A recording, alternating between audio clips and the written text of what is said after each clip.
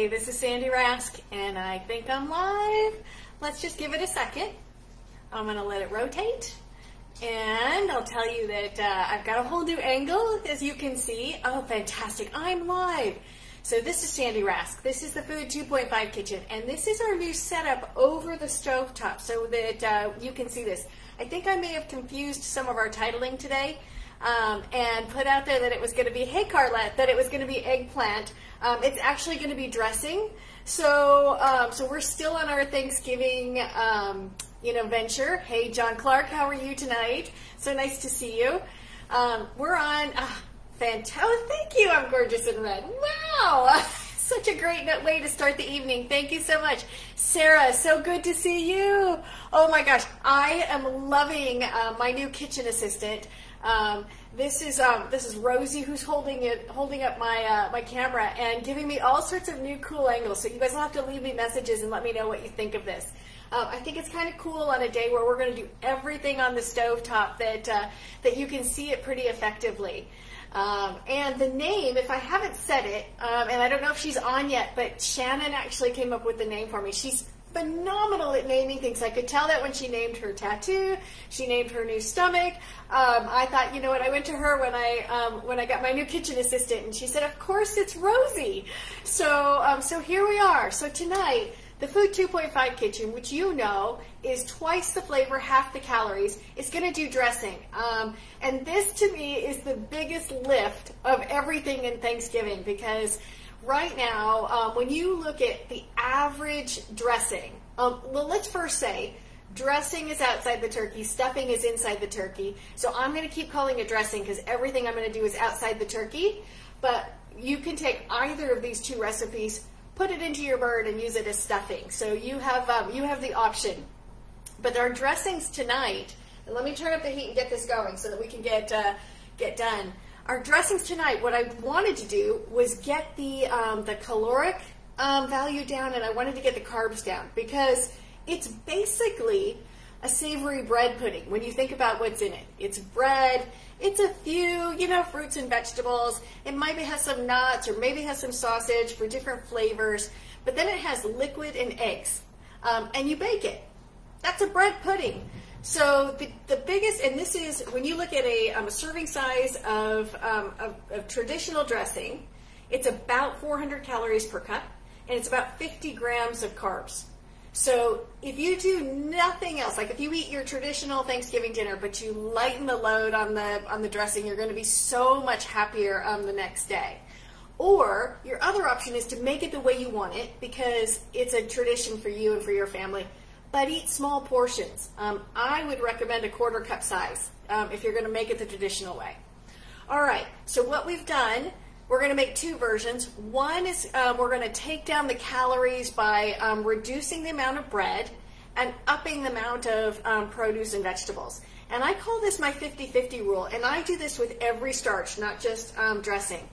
Um, if I'm going to have rice, if I'm going to have quinoa, if I'm going to have pasta, which doesn't happen very often, if I'm going to have bread, then I need to have more than 50% in fresh produce for every ounce of, of starch that I'm going to put into it. It just kind of keeps me in check. So when I'm calculating a, a half cup serving, it's really a quarter cup serving of the starch, and then the rest is all produce. So that's what I'm going to do. And then um, again, a shout out to Shannon. Let me just see if she's on yet. Hey, Pammy, so nice to see you. Hi, Christina. Hi, Darlene. Hi, Ying. Hi, Lisa. So great to see all of you. So, um, so what I, in case you guys didn't hear that, I'm going to do a, um, I'm going to do a dressing that has a lot less carbs in it, but it's going to have traditional flavors. And then I'm going to do one that's really, um, really, really interesting and it uses cauliflower as the base. It has no bread in it at all. Hey, Lena, how nice to see you. Um, so, but when you look at the actual recipes, you start with a little bit of fat. I've got two pans going, and you're going to see they're going to be roughly the same as we go through. We're just going to do different flavorings. I've got um, a couple tablespoons of butter and a tablespoon of olive oil. And what the olive oil will do for us, you can see, I, I had to start this before you got on. Um, it's already gone a little bit brown, but that butter would burn if you don't put a little oil in it.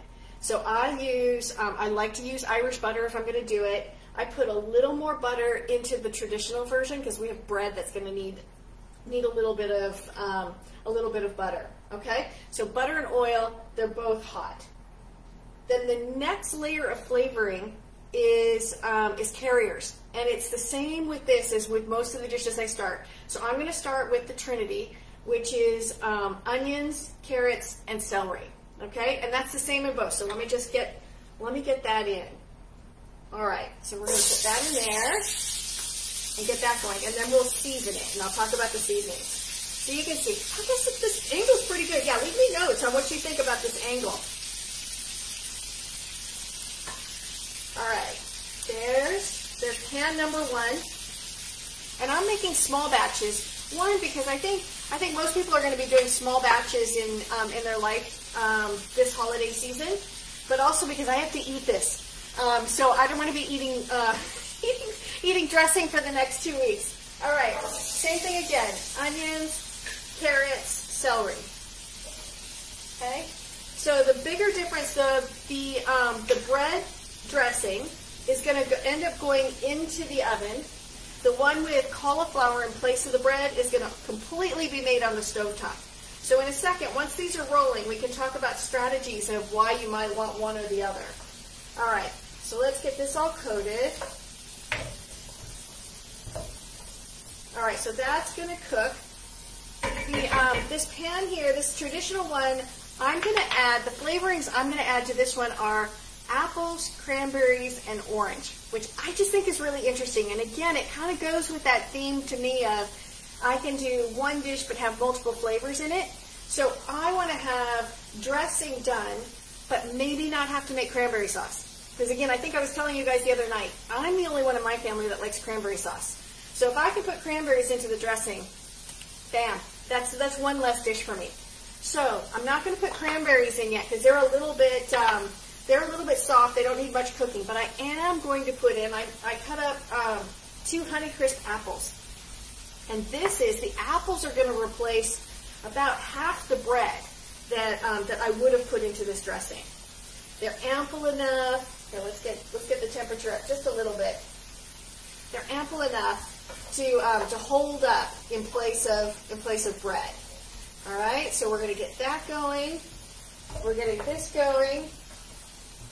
Sorry, I turned down the heat because I didn't want that butter to burn before you guys got on. Then, because this is onions, what we want to do is bloom our spices. So how do we know what spices to put into this? Well, to me, I like to go traditional at Thanksgiving. I'll go, I'll experiment on a dish, but I'll go traditional on the spices. Hey, Shelly, so nice to see you.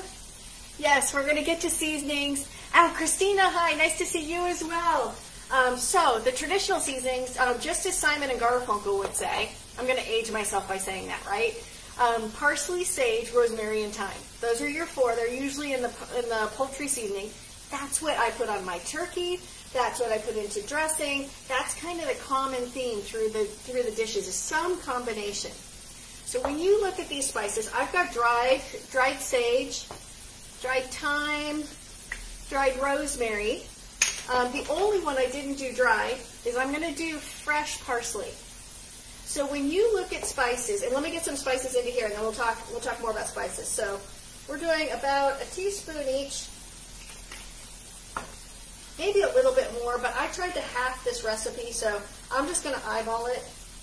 There's the sage. Already it smells like Thanksgiving in the house. And then a little bit of rosemary. I'm not a huge rosemary person, so I can go kind of light on the rosemary. And then the parsley we're going to put in once we're done cooking. That doesn't need to go in, that doesn't need to be bloomed. So let's just get that in. And then I'm going to put some salt and pepper in here because this is where we want the bulk of the, uh, the seasoning to be done. Okay, there's salt. There's salt. Okay. Equal amounts of pepper.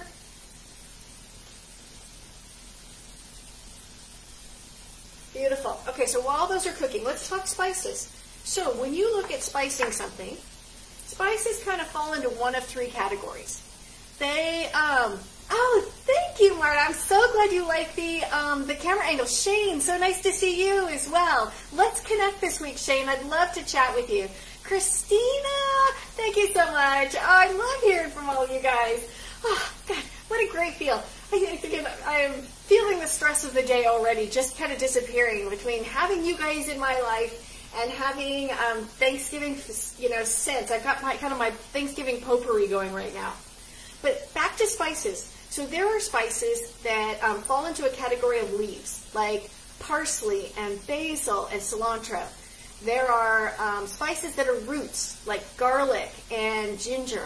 And then there are spices that are kind of woody, like the, the sage, the thyme, oregano, um, and, and that category. So you want to um, you want to pick the vehicle that matches the type of spice. Like the leafy ones, I almost always use fresh like this, and I'll cut it up. Um, if it's parsley, basil, or cilantro, I go fresh. It's not worth buying dried versions of these, my opinion, because they don't retain enough of their flavor. So I always buy fresh on this. I've tried the freeze dried. I don't know if you guys have ever tried these. Um, but they have some freeze dried ones in the in the produce section at the section at the grocery store. They're not bad, but still, of those three, I always go fresh. On ginger and garlic, they um, they dry okay, but they really change their flavor. So I'm not a big fan of dried ginger or dried garlic. So I would use it in either fresh or I would get the tubes, like I always show you guys, you know, so into a, um, you know, into a form that's easy to use. Um, or um, I would buy it frozen. I've, I've actually bought frozen garlic and, and frozen um, frozen ginger quite a few times, and it's and it's actually not a bad product. All the rest of them are good dried, and they dry to actually a more concentrated flavor. And I think my theory is because things like um, sage and thyme have more, and rosemary have more oil in them, so that oil dries and is beautiful as a dried spice. Let's see, can you replace cilantro with something else? It tastes so, oh, Angie, I'm so sorry, you fall into that category. Um, yeah, Angie, I would substitute parsley most of the time for that, um, but it sort of depends upon the dish. Um, I might also put um, arugula in. It sounds kind of weird, but um, but it has kind of a peppery bite to it. I might also try microgreens. Those are really good too. Um, you know what's interesting is I buy micro arugula and I buy micro cilantro, and I actually grow it at the house. And my son has that gene where it tastes soapy to him, and he's able to eat a little bit of the microgreen cilantro, um, but can't eat the full the full grown one. So sort of interesting. All right, I can smell these are these are getting close already. So they're starting to get soft. See, this one's getting soft. So then the, the next part of this dish is, when you think about dressing, is, is the vehicle. Where's that flavor going to go? All right, so in this one, this low-carb, beautiful, all-vegetarian version, it's, um, it's going to be, I got this, um, I got mushrooms that I cut up. These are just baby bellas cut up. I use them all the time. And I have this beautiful orange cauliflower. I had a head of orange cauliflower in the in the fridge, and I cut it up. All right. I think for this dish, and I'm not sure about this, but I think you could use riced cauliflower in this, like a bag of it from the freezer section, if you um, if you thawed it. But I'm not 100% on that, so I'm not sure I would make it the first time with it on Thanksgiving. Um, I know for sure it works with this um, this chunked up. So I'm going to go ahead and put all of the uh, the cauliflower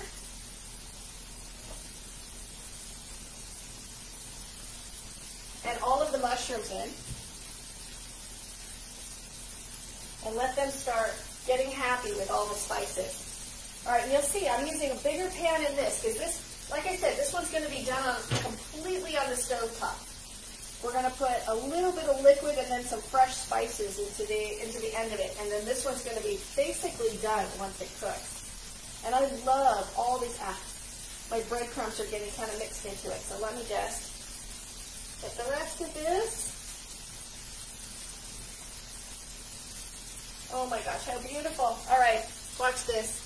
We're gonna we're gonna turn this and all of a sudden this is gonna look a lot like dressing even though it has no bread in it. And I know for some people, you guys have traditions in your families, and the last thing you want is an all-vegetarian um, dressing. But if you aren't one of those super traditional families and you're willing to go out on a limb just a little bit, um, you should try this. And if not now on Thanksgiving, try it some night with dinner because this is actually, with a roast chicken, this would be so, so beautiful. Um, or you can leave the mushrooms out of this and then take those and roast those mushrooms whole, like big portobellos. Oh, gosh, that would be beautiful. All right, but this is getting all flavored. See how pretty that is? It's got a little bit of the butter. It's got a little bit of the um, of the olive oil. If you wanted to truly go vegetarian on this one, um, you could leave that butter out. And then in a bit, I'm going to put some, some chicken stock in there. You could put vegetarian stock in there as well. Okay, so we're going to let that cook up just a little bit. And then the only thing left to do with this one is add a little bit of broth and some fresh parsley at the end. So we're going to let that just just cook a bit. This is this is almost cooked. You just want it just soft enough. Yeah, this one's this one's already cooked. This is beautiful. All right, so I'm going to turn turn the stove off on this one, and we're going to assemble this in a bowl. That's the um, that's the next step. So here, let's do this. Keep that on the heat. You see that bowl? Fantastic. Oh my God, I love this. I love this. You guys tell me what you think of it. All right. And let's do this.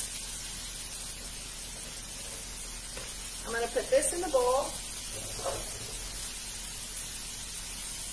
Now, the best bet for this is to let this totally cool. So if I were doing this on Thanksgiving, I would let this, I would let this completely cool. We're not going to have that luxury tonight, so we're gonna we're gonna have to move this along a little bit. This one, I'm going to put. I've got um, some beautiful chicken broth. I'm going to put about half a cup.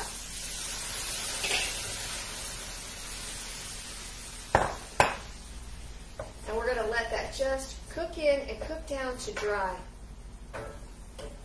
This you guys can't smell it, but this smells so, so good. I'm going to let it just cook those mushrooms. We're going to turn the heat up just a little bit. And that one, that's going to be a gorgeous dish. All right, then this, all right, so we've got here, let me pull that up so you can see it close, right? So we have those apples, the celery, the onions, the carrots, gorgeous, just absolutely gorgeous. That was cooked in a little bit of butter and a little bit of olive oil. All right, then, then we start layering in. So in this one, the flavor absorbers were the uh, mushrooms and the cauliflower. In this one, it's going to be the little bit of bread that I'm putting in. Um, so I'm putting in about a third of the bread that I would normally put into a pan of, of dressing. So I'm just doing a simple reduction to, to manage the calories. Okay, and the other thing I did on here, I don't know if you can see that, but I, um, I zested an orange in here already too. So I've got this beautiful, let's see if I can pick it up. I can smell it. You see that? Yeah, there we go. That's orange zest. So I zested a beautiful blood orange. So when I get to the liquid in here, I'm going to do um, a little bit of chicken broth, but I'm going to do some of the blood orange um, squeezed into this as well. So this one's going to be apple, also going to be cranberry. So these are cranberries out of the freezer section that I've thawed. No big deal. Not sweetened because I kind of want that tartness next to the um, next to the, the beautiful um, Honeycrisp apples. All right. Then I'm going to put about half of this parsley in because half is going to go into that when it's that one when it's done. So we're going to put, oh gosh, this is going to add a freshness to it that is so just beautiful. Here, let me come back over here so you can see what I'm doing. There we go. Yeah, that's hot, so I don't want to go there. All right, then a little chicken broth. And then I'm going to crack two eggs because the eggs are what's going to hold this all the bread together. And roughly what you want is about an egg for half a loaf of bread. Now this bread that I'm using today, um, it is um, it's gluten free because I tend to be gluten free, which is probably why I'm not a big dressing person, right? um, but it's also the kind of the cool thing about it. Here, I'm going to hold it up so you can see it. see the there's the crust, and you can kind of see it's it's pretty dense, and it's been sitting in my fridge for a bit because I only have about a piece of bread a month. You know, it's I don't really eat that much. Um, so you kind of want old dense bread. Um, if you're going to try and do this with a white bread, I would toast it in the oven before you put it in this. Hey, Susie, so nice to see you. Let me see if I've lost, I've missed anybody else. Hi, Angie. So nice to see you. Hi, Rhonda. So nice to see you. Bonnie. So nice to see you. Oh my gosh, look at you guys.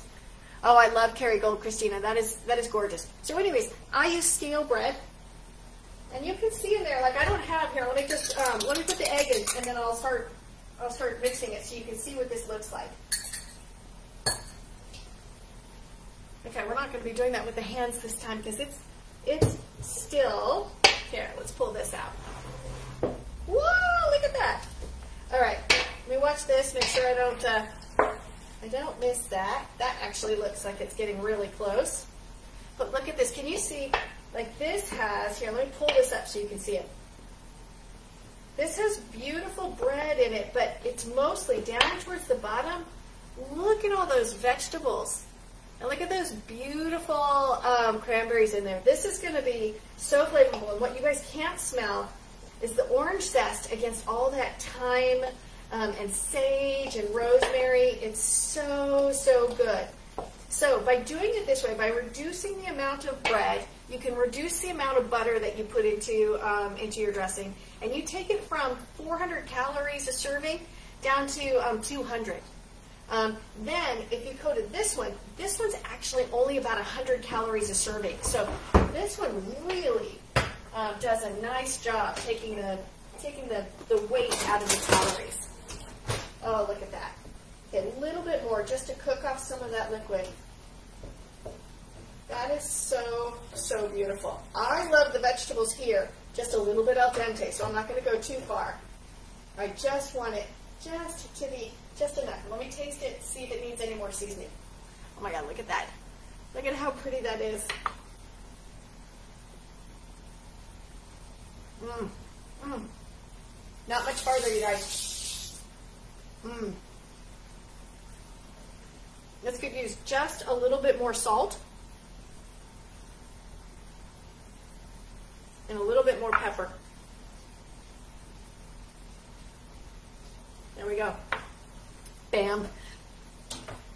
And we're done. All right.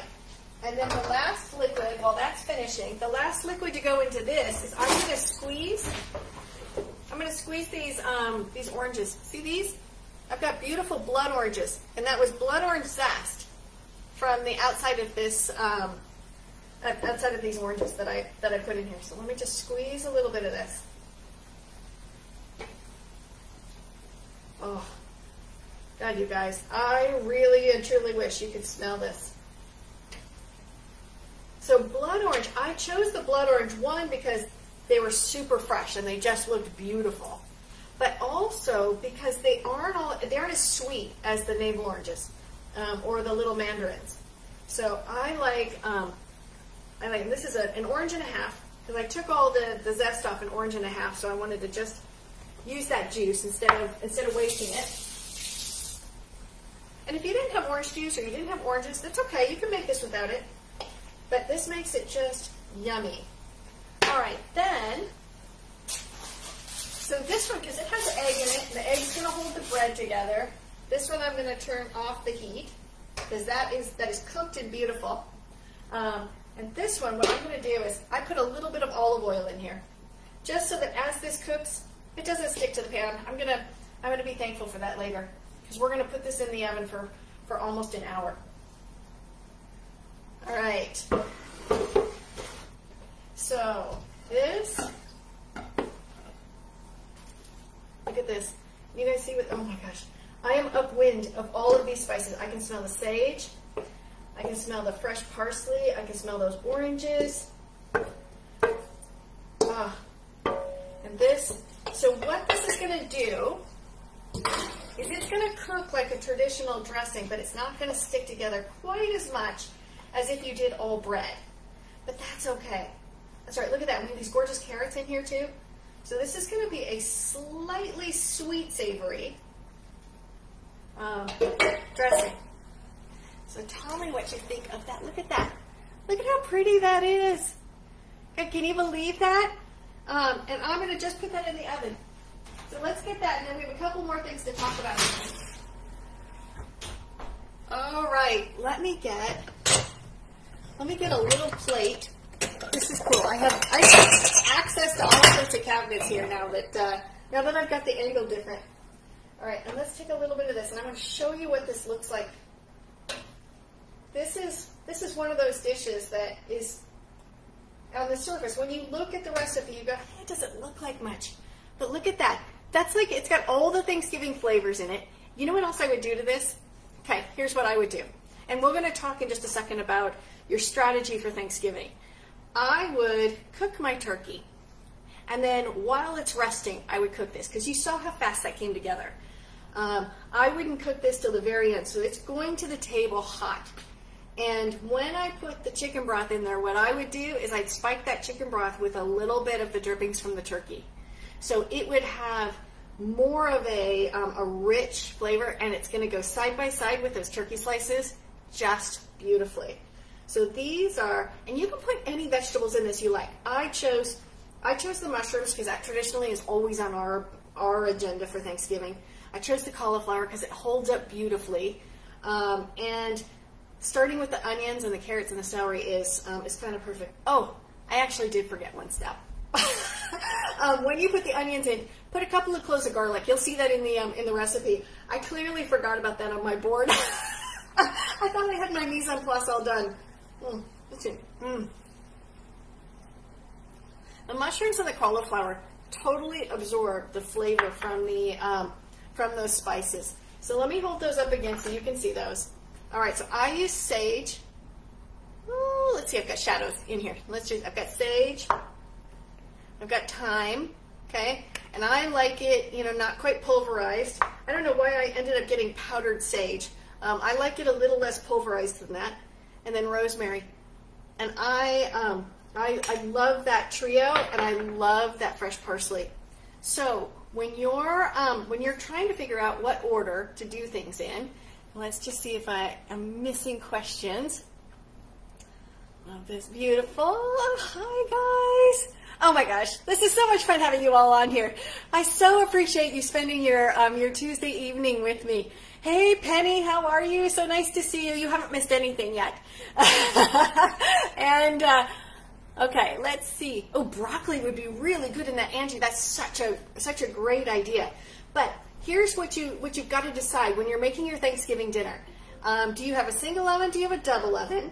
I happen to have a double oven. I'm lucky enough to have a double oven. Let me see if I can move you so you can see. See, you can see I've got a double oven. So what I tend to do is I put the turkey in the bottom, and then in the top, I can put four different dishes if I want to, up to four different dishes. So I can put in there sweet potatoes, like I can put a, a rack of sweet potatoes to roast, um, I can put some uh, mashed potatoes in there. I can um, keep things warm. Like I have a lot of flexibility. But I've lived in many homes that only have one oven. So I have to make the decision between what I'm going to do on the stove top and what I'm going to do in the oven. So I might opt for a dressing like like this one, like the cauliflower version, just because it's so fast to come together and it can be done completely on the stove top so I don't have to burn any um, any space in my oven while I'm doing that. Um, and it perfectly comes together. If you think about taking your turkey out, it's still got to sit for like 30 minutes. When it's done, you can start putting dishes into the oven, and you can do this one on the stove top um, and have everything come to the table at the at the same pace. Um, so that's the that is the um, the plan. Let me just make sure I got all of my um, all of my my thoughts down. Um, yeah, so I told you the calories. The standard bread, kind of bread and butter kind of dressing is about 400 calories and 50 grams of carbs. A typical woman should have somewhere between 50 and 150 carbs, depending on whether you're trying to do low carb or not. Mashed potatoes comes in second. So this is this is the surprisingly, I was actually surprised. I thought mashed potatoes were going to come in higher than dressing. But mashed potatoes roughly come in at about 300 calories and 40 grams of, of carbs.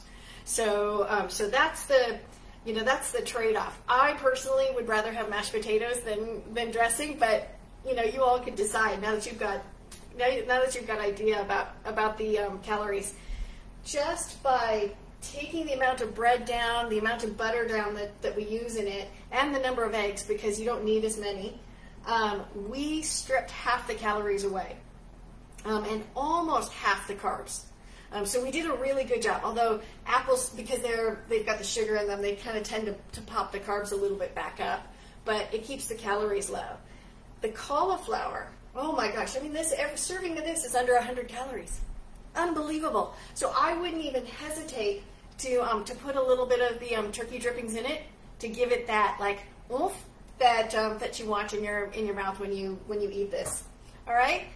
So let's see if there's any questions. But that's it. That's it. What I'll do is what I always do when I have something long to cook. I'm going to let this cook, and then um, I'll come back on when I um, when I taste it. I'll show you the finished product, and I'll put post the recipes up later tonight. All right. Okay. So nice to see you in here too. All right. Let's see. Bread dressing is. Oh, thank you on the color. I totally appreciate that. Totally agree with the broccoli option. Oh, I'm so glad, Bonnie, that you like that. And Carla, I'm glad you like the camera angle. This is this is actually kind of fun. I feel very much like I'm in a professional kitchen. Let's see. Let's see. All right. I know I'm not seeing, and I don't think I'm missing any other questions. Let's see. I can't see the computer when I'm washing dishes. yeah, yeah, you got to change your setup, or wash dishes at a different time. Let's see. Um, oh gosh, yeah, I love blood oranges. I think they um, they really are sexy. I'll go with sexy on, on blood oranges, um, and I just like them because they're not quite as sweet. They um, they have this like really beautiful orange flavor, but they don't kill you with um, with with sugar. Uh, got twins in the house, awesome. Thank you, Yang, on the computer setup. I love this. I'll be doing this one again. I do love blood orange drinks too. Let's see, I'm just double checking. and I think I got everyone's question, but please do leave me more questions if, um, if I haven't answered them. But tonight is dressing. Traditional dressing is fine. You know the calories. You know the ways to strip down the calories if you want to make it a little bit lighter. Or if you want to eat it as is, and I totally get that because a family tradition, just take out your quarter cup and measure it, okay? So, so that you know how much you're, um, you're taking in.